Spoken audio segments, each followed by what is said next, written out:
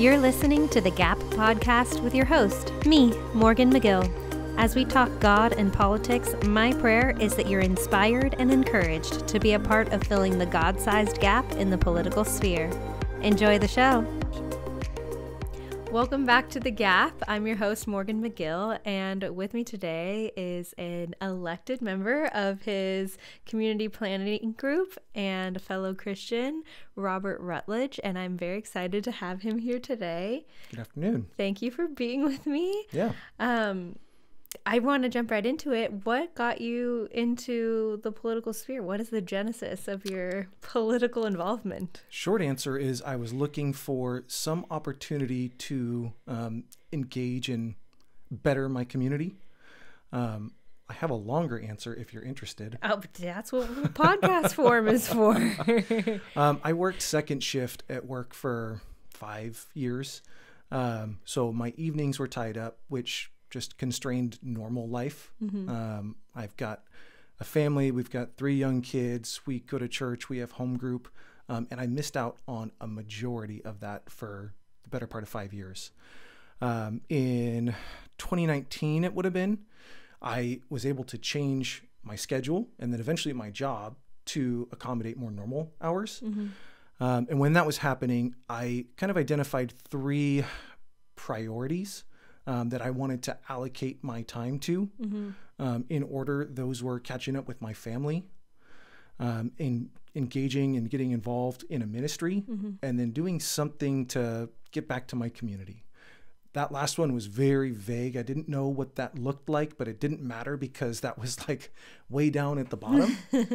Um, so that first year, I spent going on dates nonstop with my kids. Um, I've got three kids. They are 10, 8, and 6 as of today. Um, so each Friday, a different kid would get a date after I got off work. And then the fourth Friday, I would just try and not fall right asleep. um, we did that for a year and it was hugely beneficial. I got to know my kids so much better. Um, they were fed, their confidence grew. Um, just our, our, I mean, we already loved each other. We're a happy yeah. family, but it got deep in a way that that's amazing. We didn't have. Yeah.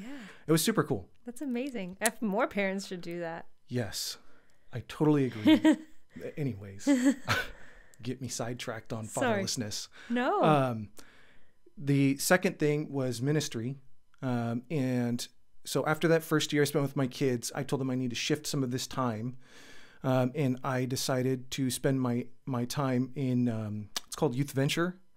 It's a um, after school Bible based program for at risk youth. Mm-hmm. Um, Foothills Church puts them on. There are four of them in East County um, two in El Cajon, one in Santee, and one in Lakeside, where I live. Mm. So I volunteered there one night a week for the last three years. Um, and it was awesome. Um, it was equally disheartening to see just the brokenness and lack of hope um, at like our youth level. Mm-hmm. You see it a lot with adults, but it's like every, you know, with an adult, you've been beat down for decades, yeah. right? I can understand it a little bit more. But with kids, you're talking like ages 8 to 17. And to see that degree and depth of hopelessness, mm-hmm. it's like we have to do something. Yeah. Um, without that, this next generation I'm afraid of what that looks like, not just for them, but my kids, my nephews and nieces, my neighbors' kids, right? All of yeah. our communities. Um, so that was a huge eye opener um, and opportunity, right? So these kids come in, um, it's a place to stay out of trouble, get off the street. There's snacks, there's games, um, but there's also lessons that are built uh, around the Bible. Um, and so, you know, these kids are incentivized with snacks, treats, um, time, you know, privileged time. Um, and you know, at first it's a little it's it's something new, it's different. Mm-hmm. So there's some reluctance. By the third or fourth time, I'm walking in the door and there's three kids like, Robert, can we do a lesson? Um, so there, you know, we talked about the the hopelessness, but there's also a desire for something to fill that void, right? Yeah. Um, and so that was a huge way to see that we as a community and as a church can step in and do that. I love that. Yeah, it was incredible. Um, and that, so that was what I viewed as like my ministry gap that I was looking to fill. But it kind of tied into the community part as well. Yeah. Um, but I knew that I didn't want that to be it. Yeah. Um, so I remember talking with my pastor, um, who I mentor with, and just telling him, "This is what I'm looking for. Do you have any ideas?" Um, and he was like, "Oh, you know, you could coach soccer. You could do like these random little one-off things." And it was like, I none of it was clicking. Yeah. Really kind of resonated. And I remember asking him, "What about politics?" And his ears perked up. Um, the church that we go to is very civically engaged. Yeah. We need more churches like that. Yes. um, that is a role that I think is safe to say most churches have shied from Yeah. um, for a long time. And it's pretty evident where it's got us. Yeah. It hasn't worked. Yeah. Um, so I really admire um, the work and effort that the pastors at, at the church I get to go to have put in. Um, in spite of you know pushback and Mhm. even you know other churches maybe saying you know that's good for you but we're not going to go along with it they're willing to stand up there alone um, Mhm. and i really admire that so that was something that you know as a christian with no political background experience endeavors anything seeing like hey these guys are leading by example there's a need for it and in like certain ways you know it's california so we're not going to move the needle 0 to 100 necessarily Yeah. but you can see on local levels um, it start to move incrementally yeah. right 100%. um, from the work and effort and time and persistence And prayer. yeah um, of the few that are willing to do it Yeah. so that's what caught my attention. Um, he directed me to a couple people who were already involved, um, whether it be at you know the city council level, school board levels, etc., um, and just kind of sharing my thoughts and uh, background and willingness with them. Um, and eventually, that is what led me towards filing and running uh, for uh, November 22's election. Yeah. It's funny, my mom and I were talking earlier today about how the majority of like jobs and positions and things that you get in just in life come from who you know. Mhm. Like it's not what you know, it's who you know. Oh, for sure. and you learn what you know through who you know. Yep. and it's uh, it's awesome that you went to your pastors and were like, "Hey, I know you're engaged, and I'm thinking about this," and they connected you, and then and then like it was just that step and people get overwhelmed. They're like well i don't know what to start. I don't know i don't know enough. I don't know like like who am i? Like i don't know these things. Well most of us none of us knew these things until we stepped into it and we got around the right people. So i love that you are like i don't know but i know someone who knows and i'm going to reach out to that person and they're going to connect me. So once you got connected to those people and those local leaders how did you take that step to yourself running for office? Um, I just want to go back real quick to a point you were making about um, seeking out someone you know. I was actually thinking about it on the way over here, and I thought about that same, I guess, personal discouragement of I don't know where to start. yeah And I guarantee that everybody knows someone, even if it's a degree or two removed from your immediate circle. you know someone who knows there is some someone connection, Yeah. right? And if you express that willingness and that desire um, enough times, be persistent, mm-hmm. someone will come along and help you, Yeah. right? There's no shortage of need. Um, so you put yourself out there and someone will take you up on it eventually. exactly Um, as far as how I, I guess, wound up running and being elected, um, the short answer is a lot of questions.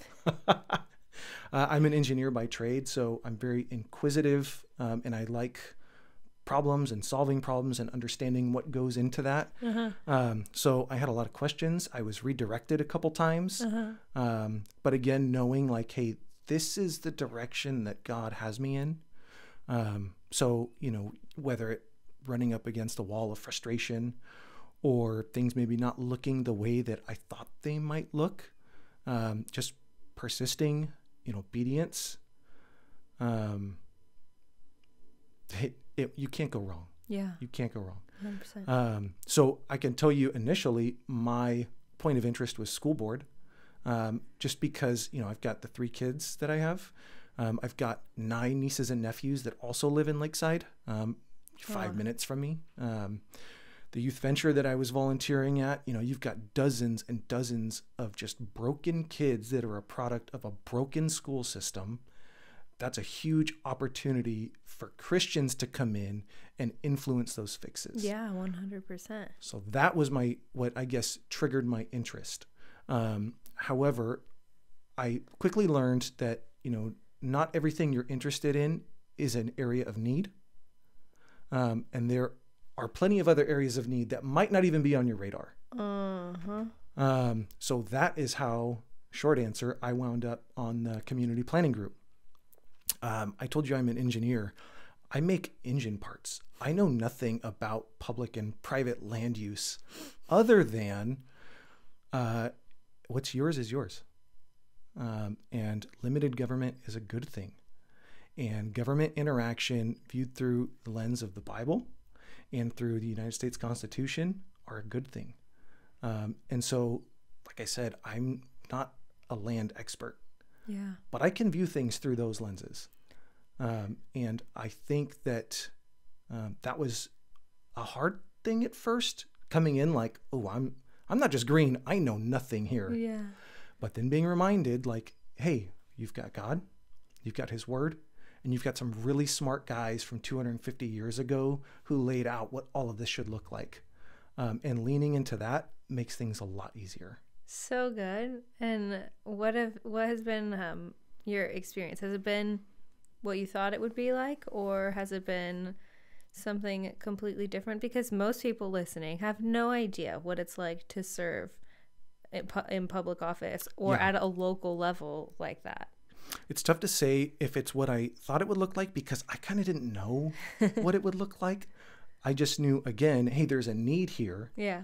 Um, and I'm pretty sure I can adequately fill this need. Mm-hmm. Um, it has looked different than I thought it would look early on. Um, and there's kind of been some good, bad, and indifferent mixed in there. Mm-hmm. Um, I've learned a lot, and I still feel like I know, you know, a drop in the bucket of what there is to know.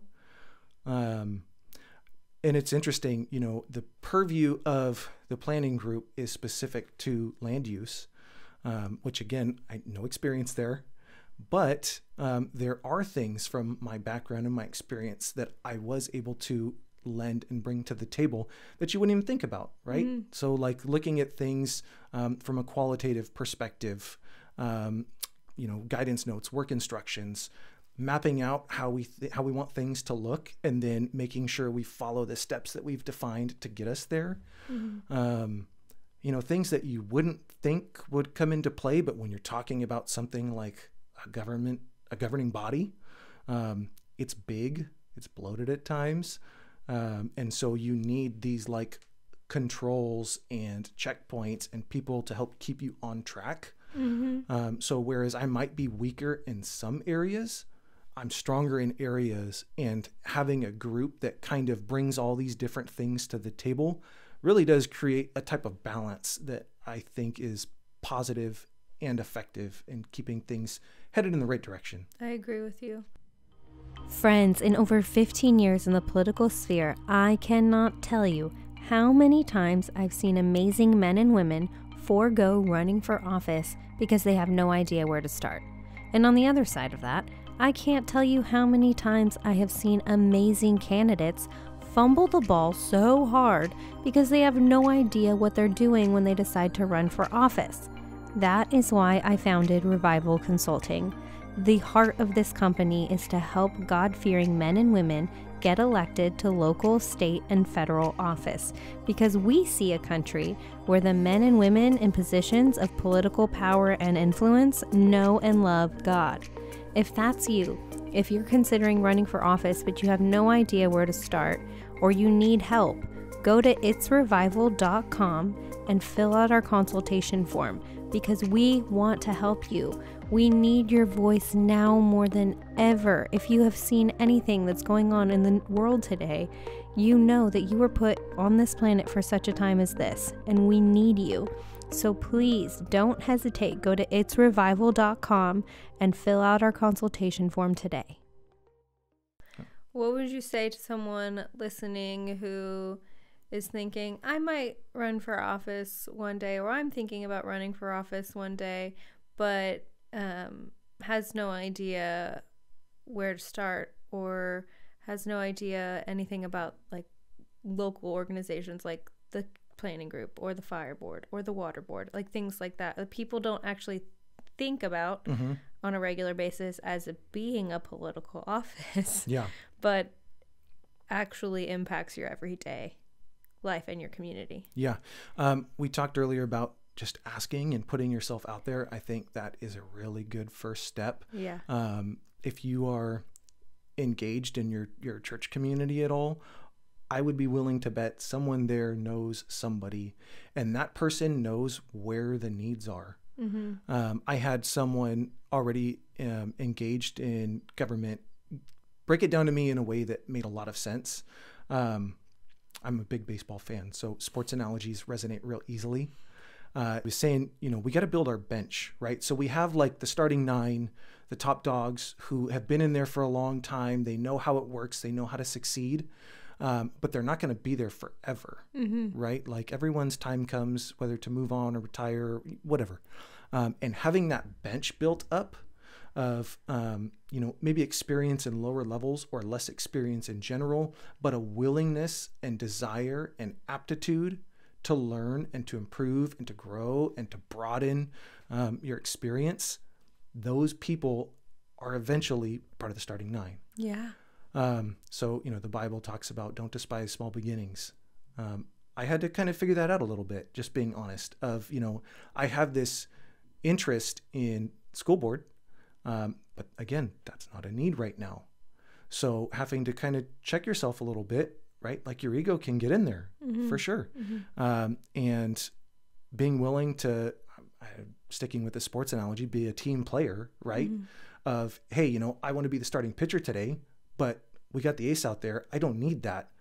I need you in the bullpen. I need you ready to go so that when the time comes, you've checked all the boxes, you've put in your time, you've got the experience, you've learned, So good. you're ready to go. Yeah. Um, so be okay to start small. That was um, So a big thing that I had to learn, but I did, and it, it's beneficial. So good because we see so often people think I'm gonna run for office and they go straight for the big one. Mhm. You know, the straight for city council, straight for mayor, straight for governor. Even Yes. it's funny to see how many people like when when we get the the ballot, uh, how like how long the list is, and you're like, these people are you really thought you like why are you running for Yes. governor? It's funny. I had this conversation with my brother-in-law uh, a couple weeks ago, and he had asked something along the lines of, "Do you really think that Lakeside Community Planning Group is going to move the needle in the grand scheme of things?" I said, realistically, like on a day-to-day basis, no, probably not. But I think there's a couple really important reasons why, you know, for my specific instance, planning group, but for really any, I'll just call it low-level governing body, you need good, solid, conservative Christians in there. Um, one, when the time does come that there's something big that is going to move the needle, you want the right people already in place. You don't want to be scrambling um, or trying to, you know, come up with some movement against the wrong people on the group or the board or whatever it may be to try and, you know, move things the way that they ought to go. You want to have that in place so that you don't have to worry about it. Yeah. Um, the other thing uh, I've kind of learned is uh, this isn't for everybody. There is. Not a place. faint of heart. No, it is not. There's, and I don't want to be misconstrued. There's a place for everybody in this game, Hundred percent. right? We've all got time, talent, and treasure, Mm-hmm. um, and we can give at least some of those. Yeah. That doesn't necessarily look like holding office A hundred percent. right? You can campaign, you can walk, you can door knock, um, you can ballot harvest, you can donate. I mean, we could do a whole episode on just the things that people could do outside of running alone. One hundred percent. Um, But that's like all of my episodes. You know, everyone's involved in a different space. yes, there's something so, for everybody. so just keep listening because you'll find someone who does what you want to do. um, so the lower level stuff, I think, is a pretty good proving ground yeah. of let's get your feet wet, And see try if this it. is even for you. Yes, and you know what? If you if you misstep, make a mistake, again, since we're not talking about something that is likely to move the needle drastically every day, it's okay. Yeah. And Right. it's not in like the media every day. Like yes, not you're not someone going to get there. dragged. Yeah, there's all not the- in, yes. someone in there recording you and posting your clips of oh you said this at your planning group meeting. Right. It's a good way to to build your honestly it's a good way to build your track record too. Absolutely. Because what people don't realize at these like smaller meetings, there are people from the county and the like local governments that come to these meetings to see what's going on and other elected officials that come in sometimes. And if they see if they see you and they start to build a rapport with you, then they know and then when something comes up that they're like oh this is a per a school board opening comes up and mm-hmm. members of the school board have come to these meetings and have gotten to know you and an opening comes up they're like i know exactly who we should appoint Yep. robert is fantastic but but if you don't have that rapport or that that place that space to build your your track record for people to get to know you then it's kind of hard to say at the end of the day how would you do in this seat i don't know you know Yep. Absolutely. so um, I'm really glad that you said that too. When when you decided to run for office, how did that look with your family? Because I know a lot of people, um, they think, "Oh, I'm going to run for office," and they don't realize that like it is um a sacrifice of Yep. your time. How did that look in like working that in with your already busy schedule and your family? And how did you uh, balance that in? Because i think a lot of people don't realize that it is it's it is another additional sacrifice of your time and energy. Yeah. So before I committed to it, um, I had to get buy-in to my fa- from my family. That was super important to me. Um, you know, think back, I had just spent the previous five years away from them, and then I've been spending all this time and effort and energy trying to get caught back up. The last thing I want to do is undo all of that and be back to square one at what I had defined as my top priority. Um, so first off, talking with my wife, letting her know, hey, this is what I'm thinking. Um, just spitball. Tell me what you're thinking, what you're feeling. I don't know what the commitment is. It's not going to be zero. I can promise you that. you know, there's going to be some give on your part. So this is something that we're doing together. Even if I'm the one sitting at a meeting, you're the one at home with the kids, right? That's added work to your plate. So making sure that there was buy-in from both of our angles, um, and then making sure my kids understood too. Like this is time away from you guys, um, but I'm still going to be around. We're still going to do dates. You are still a priority above this for me. Um, and so, you know, if it gets to a point where I'm having to choose, you guys are always number one. Um, and then getting them engaged and excited about it. So I remember when um, I got all my yard signs in and needed to go canvass Lakeside. It was a family day, right? Load up the car with snacks and drinks. And then we're driving through Lakeside streets that we've never seen, having the kids call out, that's a good spot, that's a good corner. No signs are there yet. And we're hopping out. The kids are taking turns trying to, you know, push the uh, the yard signs in. Yeah. turn. Fighting over. Yes. Yeah. I mean, they're kids. Let's be real. it's my turn to Um, put in a sign Yeah. we uh, we made buttons and let them wear them to school, so they got to show off and be you know proud of their dad, and it was a family affair. Um, and it wasn't a lot of effort to make it like that. It was more intentionality than effort. yeah Um, we already hang out. We already drive around and do stuff together. Throwing some signs in the back and making a day out of it. It was just a different type of adventure. yeah Um, so it it was important to do that, but it wasn't a big change. It wasn't as big of a change as I thought it would be. that's good like you were prepared for like more Yeah. yeah Absolutely. And you know, I think part of that is um, one, my area of interest being school board. I think there is a greater requirement there. yeah Um, and so I was a little mentally prepared for that. So anything short of that is like, oh, this is time wise, this is a walk in the park, right?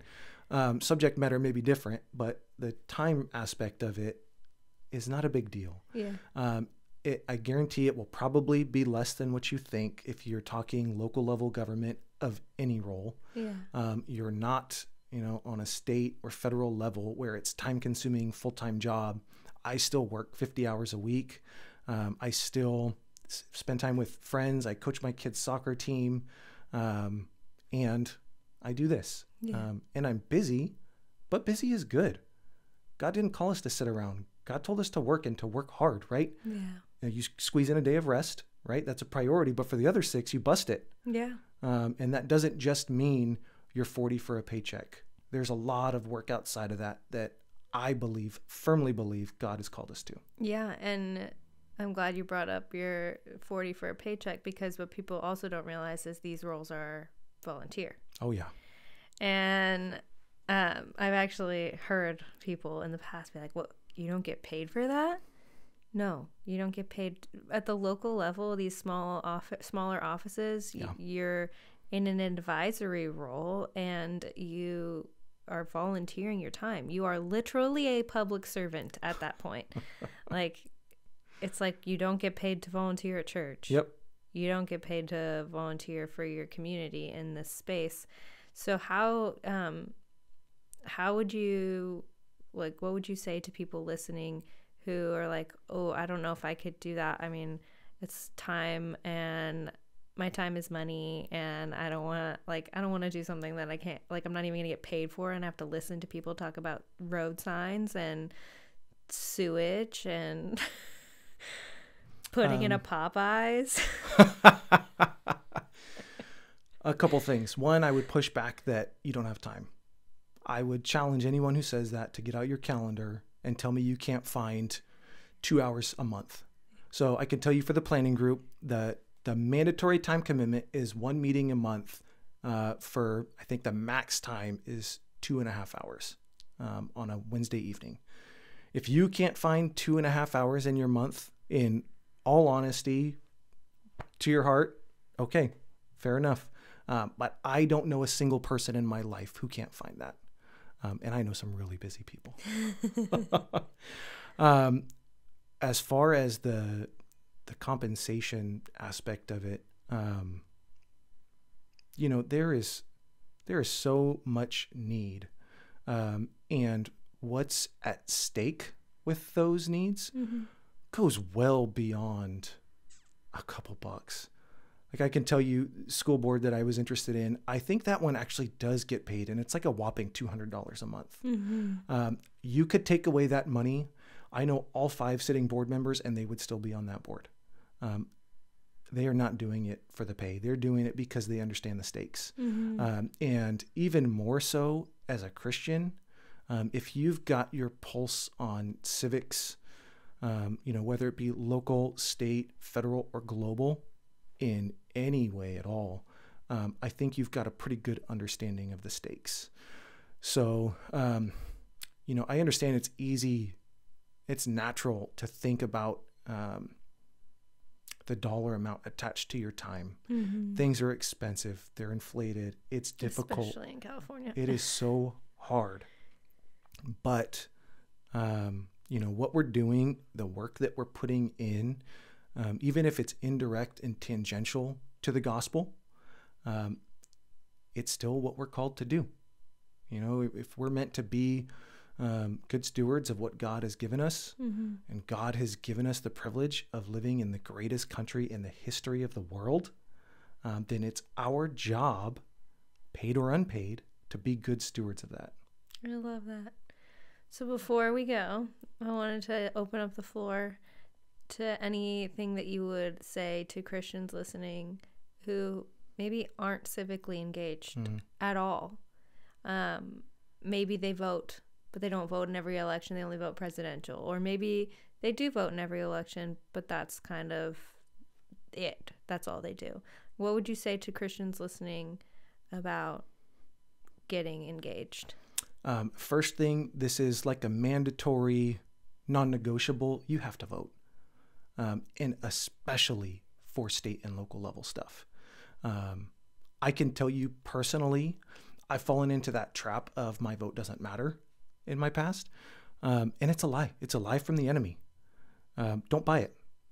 Your vote matters, especially on the state and local level.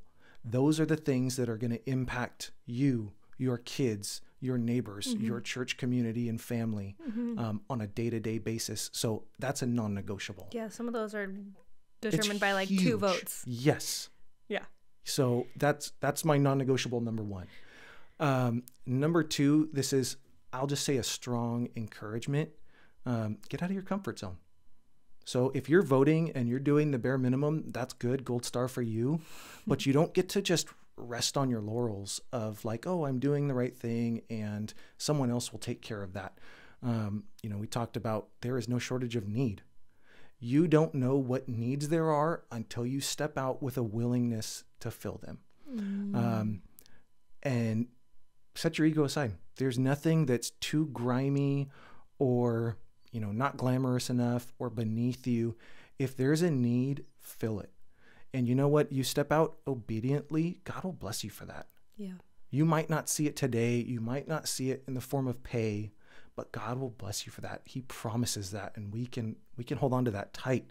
And the more you step out, the more you show a willingness and an ability to fill those needs, the more opportunity you'll have to do the same in greater and greater ways.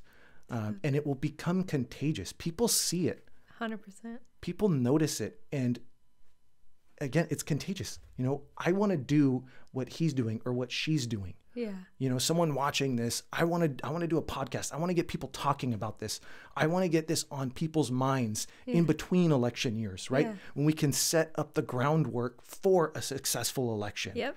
we don't want to wait till the 11th hour if you know it's coming let's work now Yeah. right? Um, so just being open, um, being engaged, even outside of your comfort zone, um, just get to work. There's Yeah. work to be done. And that's what we're here for. Yeah. And we're in an election year now. Yep. So get active. There's a probably Time a- is short. There's probably a lot of uh, holes in your local communities Yes. that can be filled in 2024. More than you'd imagine. yeah, a lot more. Yeah. There's some there's what people don't realize is there are a lot of seats where there are just walk-on seats hmm because not enough people sign up to fill those holes Yep. that you just can walk right onto Year the after year after year, it's the same thing. and then a lot of and a lot of t- the times they don't have enough people running for some of these seats that they have to appoint random people. hmm So If we're going to have those filled, who better than conservative Christians to do so? Amen. Thank you so much for being on with me today, Robert. Yeah, it was a blast. Thank I you. love this conversation, and I just can't wait to see what God does through you next. And for that time that you end up on the school board, I'll be cheering for you. Thank you. Thanks for listening to today's episode. If you liked what you heard, don't forget to share it and make sure you subscribe to our channel so you don't miss an episode. Now go out in the world and make disciples. We'll catch you in the next one.